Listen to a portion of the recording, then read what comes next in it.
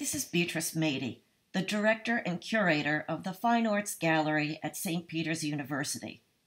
It is my pleasure to introduce the second virtual show of the fall 2020 season Gerald Hayes Reconstructing Die Cuts. Gerry has been making art for many decades, with work in the collection of the Museum of Modern Art and the Addison Gallery of Art.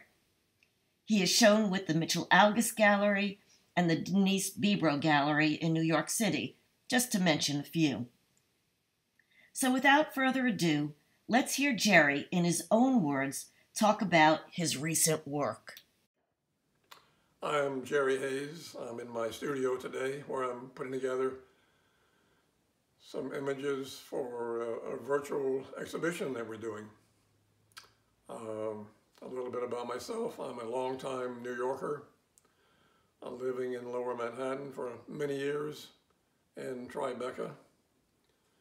And during that time, I was also faculty at Pratt Institute in the Fine Arts Department until 2006 when my family and I moved to a small town, small coastal town, only 18 miles east of Boston, where we live now, and I have a my studio here. These relief paintings I'll show you evolved from some two-dimensional paintings like this one here, which was painted in 2016.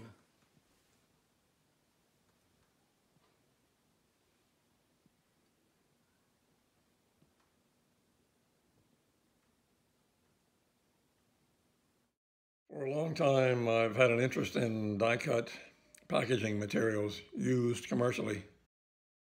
This may be due to my interest in design from my undergraduate art school study, but it was after graduate school when I was teaching at the University of Illinois that I created many paintings on paper by spraying paint through the openings of flat, discarded cardboard display sheets that I would lay down on the paper and then remove after the spraying was finished. The painting from 2016, which I call Duplexed, is on a birch veneer panel. Uh, here I stenciled and then I painted the shapes that I had drawn, I guess, from a, a packaging design that I had found. This is one of the last paintings I think I did that was flat or two-dimensional. So it was after completing this painting, I decided to use the ready-made object itself in new works by cutting the wood panel to contain the pressed paper form. The wood support isolated the image like a stage in the same way a mat frames a print, drawing, or watercolor. To be more visible, here are some of the found pressed paper pieces that I repurposed as the process is sometimes called. I like the term repurpose. As you see, I often cut and reassemble the forms into new shapes and, and patterns. Some time ago, I thought I'd mention that a painter I knew, Jack Whitten, said that there's a difference between painting a painting and making a painting. At that time, Jack was cutting small acrylic paint pieces and attaching them to his painting surface like a mosaic. Uh, his statement was quite true. In order for me to make my painting, to, to make my painting, it would involve construction by measuring, sawing, gluing, and sanding the wood platform, then gessoing both sides of the pressed paper before the painting even started. So making a painting is quite different from, as he said, painting a painting, and often more like construction or sculpture or architecture. In the past three years, I've created a hybrid of these industrial die-cut packaging forms on a flat painting surface. Sculpture, as you know, is finite and real, while painting is illusion. But uh, by my melding or blending the two together, the work acquires a kind of physical presence in the same way a collage or anything attached to a painting surface would, real highlights and cast shadows. This is why I refer to these works as relief paintings or painted reliefs. In most of the reliefs, I've limited color in order to avoid being decorative. I can't just arbitrarily add color. Usually I will rhyme or match the paint color on the wood panel with the beige tan neutral color of the cardboard, or I will use a non-color or neutral color like gray or white.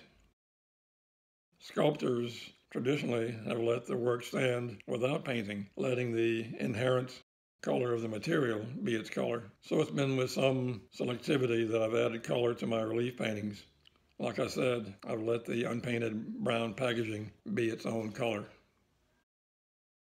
At uh, different times while I'm working, the artwork itself seems to suggest the next move. Of course, from choices I made in previous work, I make new decisions that take the work to its new completion or to its finish. I do have a few options, but I still don't know in advance exactly what the painting will look like until all decisions are resolved.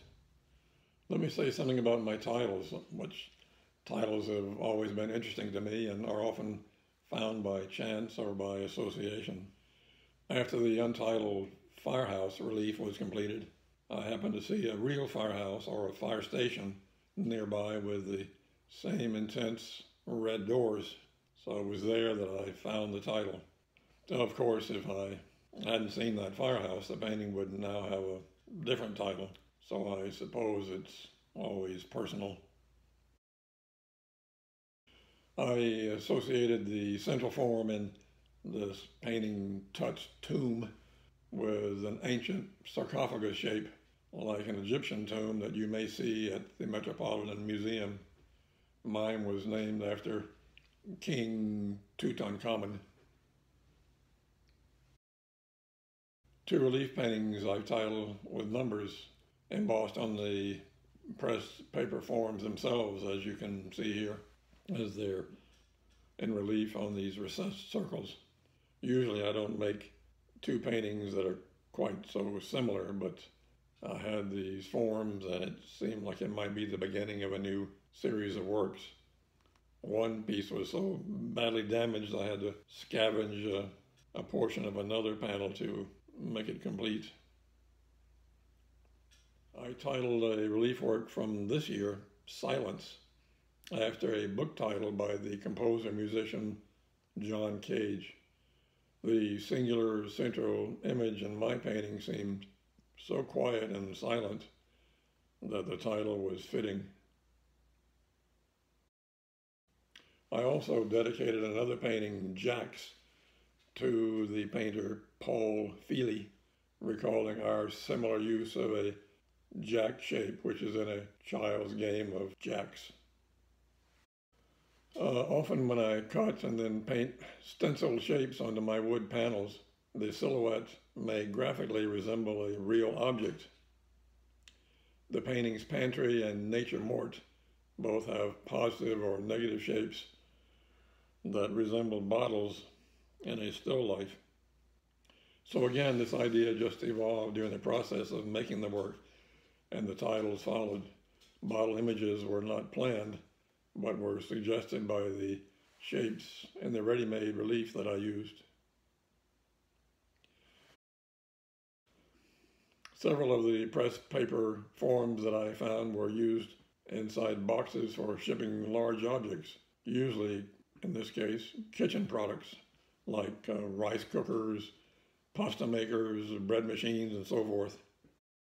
The shapes of these large container-like forms suggested to me big venues like Arena, a Coliseum, or one I titled Diamond on Squares. In two of these works, I imposed overlapped divisions as a way of bringing the supporting wood panel into the work. And the simple division of shapes that overlap the existing 3D relief object merged the painting with the relief. Uh, by chance or by choice, as to know how to divide the square. My diamond painting has the same divisions as the non objective Russian painter Kazimir Malevich's painting Four Squares from 1915. On my work, I turn the square on its point, making the square a diamond, which I mounted in relief on the squares. In three small works from 2018 entitled Turn, Fists, and Paths, shown here on a wall together and then individually, I used vertical color paths that run over the small objects. Then they are reversed into the opposite color path or flipped, making their work more, I don't know, puzzle like or unexpected. Less, as they say, is often more. It was an idea for a simple solution for my using such small objects. Paintings, at least for me, don't have to be big to be important. Uh, from those small paintings, I've ironically created even smaller works. But I have said before that paintings don't have to be big to be important. Uh, just recently, I eliminated the wood stage or uh, platform from the earlier work. And there's one on the wall here that is completed relief, and there are three that are in progress. I think and I hope they will lead me to unexpected, uh, important new direction for my work.